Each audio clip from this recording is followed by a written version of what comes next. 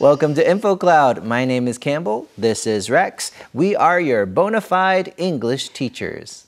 Wait a minute, Campbell. It, um, is that even English? Actually, it's Latin. Latin is one of the many languages that English evolved from.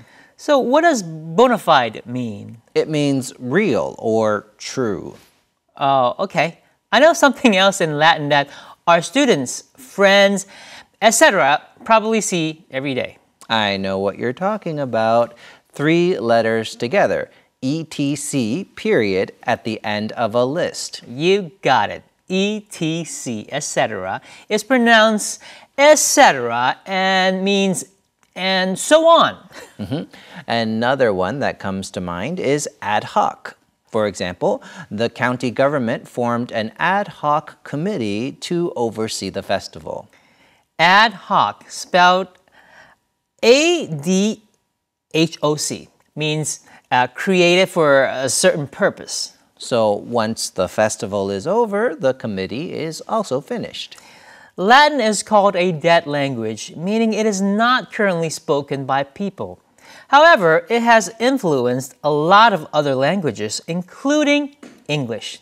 It's also still used very often, especially in science. For example, signs you might see on plants or trees probably show the Latin scientific name rather than their common English name.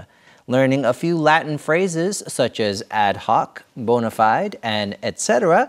can help your English too. 很多人都知道拉丁文已经是一个不被使用的语言，但是还是很多拉丁文的用语会出现在英语当中。例如，bona fide 就是真诚或实在的意思。We are your bona fide English teachers。我们是你最忠实的英文老师。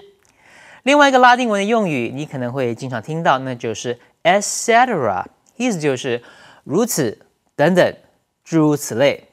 我们经常会在一句话的句尾看到 etc 的缩写，那就是 etc。还有一个经常看到的拉丁文是 ad hoc，意思就是为了某种目的而临时创造的。The government formed an ad hoc committee to oversee the festival. 政府组成了一个临时委员会，监督整个节庆活动的进行。也就是说，活动结束，这个委员会也会跟着解散。这就是今天的 InfoCloud，我们下次云端见。